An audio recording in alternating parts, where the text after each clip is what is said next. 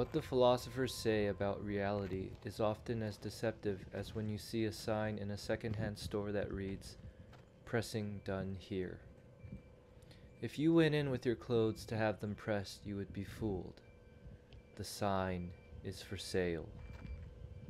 Soren Kierkegaard. For a long time, I merely put up with life, but never got to live it. Everybody's trying to sell you a quick fix. Salesmen sell you cars, self help gurus sell you methods, preachers sell you doctrines, lecturers sell you philosophies, doctors sell you pills. When the pills don't work, they'll sell you a surgery. Question is, how long will you keep buying it?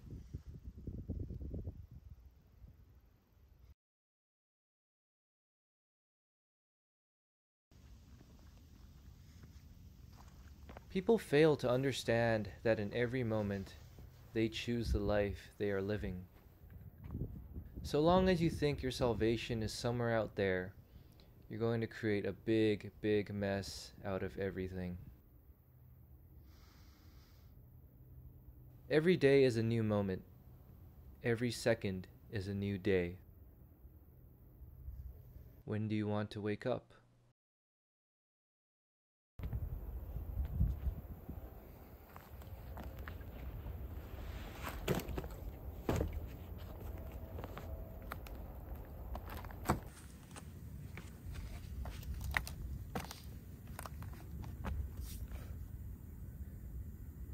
Something you begin to notice as you become more and more self aware is how our characters are pretty thin.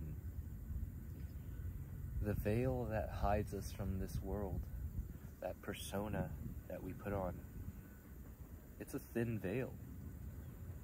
And with this realization, you, you sort of see when you go about your day how people break out of character, you know?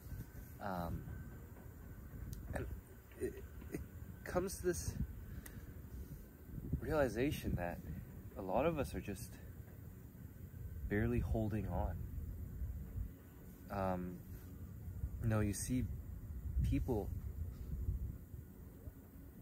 in, in sporadic moments throughout the day, whether that's in traffic, uh, at the grocery store, or at a restaurant, sometimes you'll witness that quick moment where they break out of their character for a second. And most of the time, it's, you know, it's anger or frustration or a deep resentment that reveals itself, if only for a brief moment. And it really got me thinking about this. Makes me realize more and more how most of us it seems like most of us just merely put up with life. And it's because of this merely putting up that it's so easy to break us out of the character that we're pretending to be. Because a lot of the times we we aren't the person that we try to pretend that we are isn't really who we are. And our whole mistake and the the the biggest reason why we're so depressed and anxious and we have all these mental health problems, I really do believe it comes down to this. We have this deep fear of revealing who we really are. You know, the the being underneath the persona. And so we put on this persona, but then it's so thinly veiled that any moment of frustration or unpleasant surprise will just reveal will break that will break us out of that character and it's it's so funny to watch once you once you start to see it um, but the whole reason why we break out of our character and oftentimes when we when that happens it shows our dark side. The whole reason that happens is because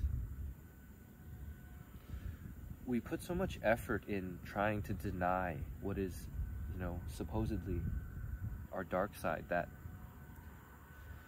it gets repressed so deep and at some point, you know, the energy has to release somehow. And so they happen through these unconscious situations where we just burst out in anger or impatience or frustration. And the whole reason we burst out in these ways is because we deny ourselves the other 95% of the time. Now, if we were true to more true to ourselves, we would allow how we actually feel in every moment rather than always trying to pretend like we're okay. Because our whole the whole reason why we're so anxious and depressed and barely holding it together is because we won't admit it to ourselves. Right? We keep playing this character of, oh, I'm okay. I'm good. Yeah. How are you? Oh, I'm good. You know? Right? I hate that question. I think it's a very funny question. When I get asked, you know, hey, how are you? And then this is this me- mechanical response. Oh, I'm good. You know? Even when deep down, that's not how we really feel, right? And I think so we've been brought up to to validate our lives based on external measurement, external morality, external ethics. But it's a lot of the times it's all fake, you know. You see people who are financially rich but psychologically poor. Right? They've we, we we're so attached to external indications, aka symbols, for the real thing that we've completely forgotten and we even disregard the internal. So you see people who are externally rich but internally poor. You see people who are externally happy but internally sad. And the whole reason why this happens is because we we aren't true to ourselves, you know. Is because of this fear of being true to how we really feel, and that's why we put on that persona. I don't know why my nose. is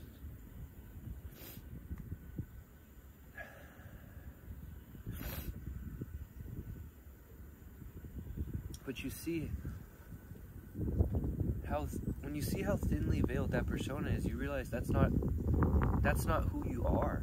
And so why do you keep pretending to be somebody that you're not?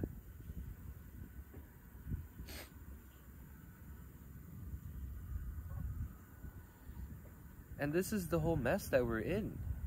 We, we do all this pretending, right?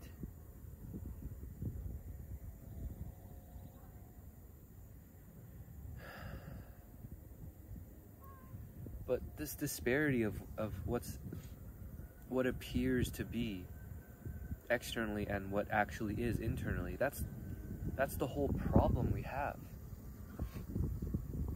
we're we're so obsessed with appearances and vanity that it no longer matters to us how, how we really feel deep inside because we just deny that, thinking that if we appear to be happy, then we will be happy. But I don't know, has that ever made you happy? Appearing to be happy?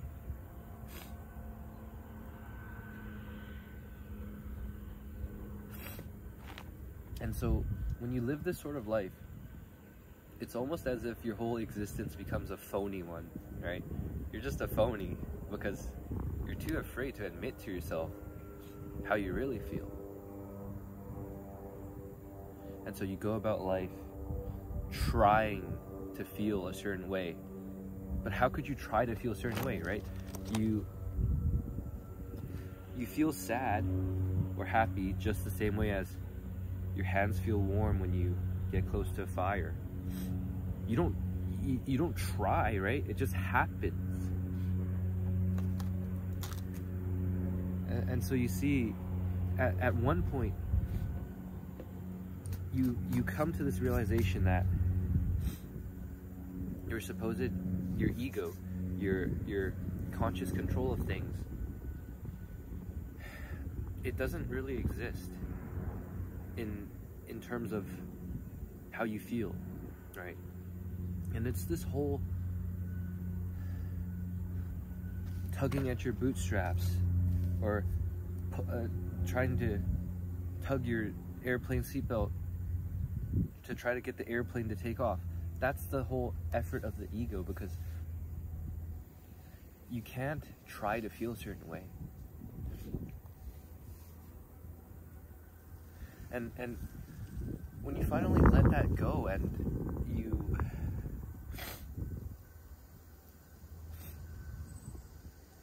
allow your feelings to be without labeling them either good or bad, right or wrong,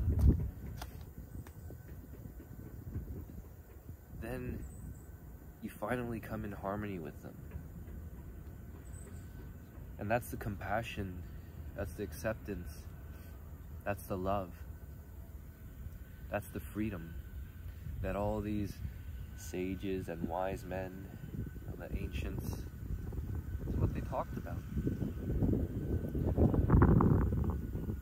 It doesn't matter if you want to take the eastern route, the Buddha, Lao Tzu,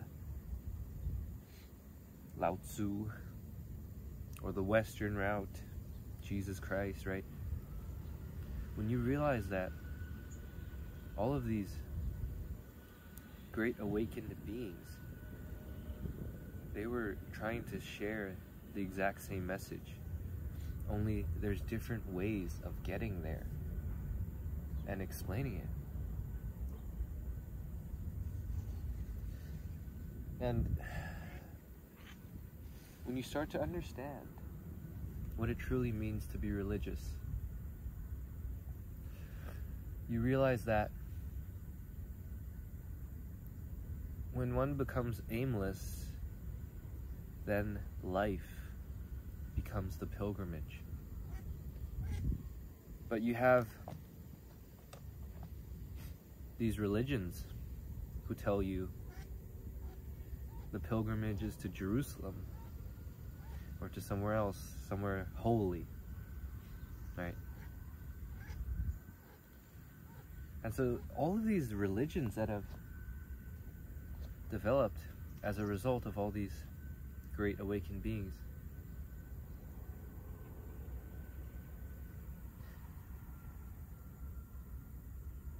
it's funny because they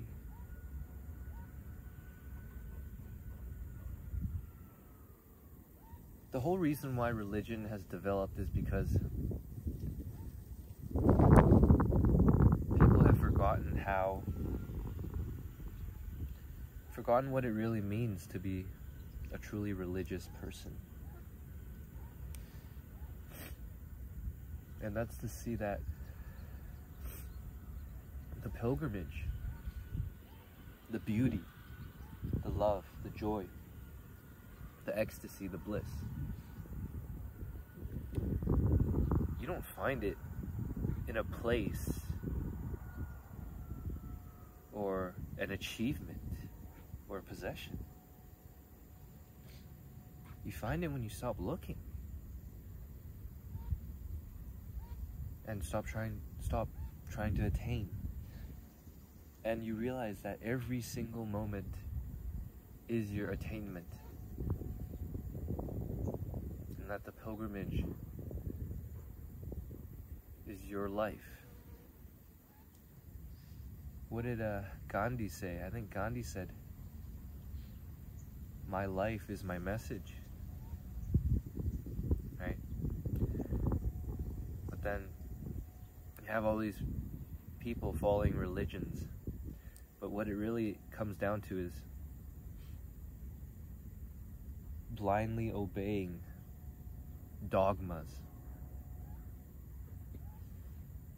And in in this obedience to dogmas and it's this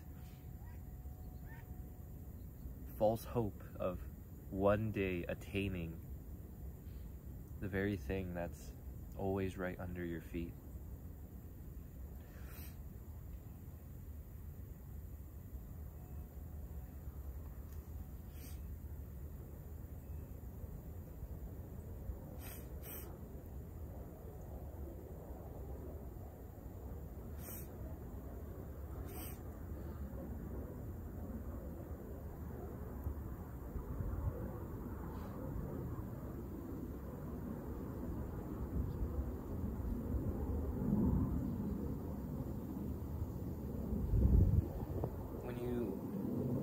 Start to understand that condemnation of certain actions, certain beliefs, certain behaviors of others is really just condemnation of the self because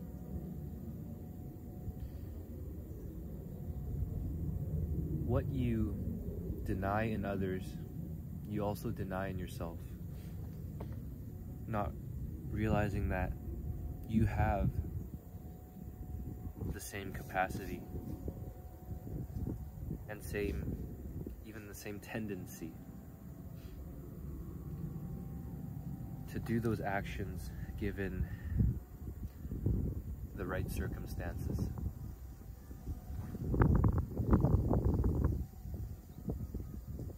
So, in order to become whole, to become fulfilled, you have to embrace that. Because you think about it, how could you ever become whole if you're pushing parts away, right? By definition, becoming whole is the harmonious integration of all things. No more distinctions, no more good and bad, right and wrong. You see the oneness and the harmony of all things, and you allow everything to be just the same way that the universe does, that Mother Nature does. And it, it is this unconditional allowing that is the essence of the saying that God is love. Because ultimately, you are love too. Only we have, we've developed this very schizophrenic definition of love. But what love really means is compassion and acceptance of all things. And in order to do that, you have to stop praising and you have to stop condemning in order to see the wholeness and how good and bad, short and tall, right and wrong are the same coin, only they're two sides.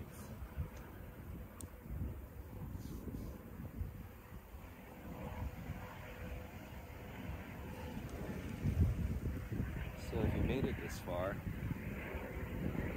you seem to like philosophy and deep existential discussion.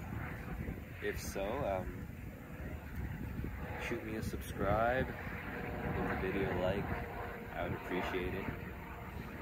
And until next time, see you in the next one.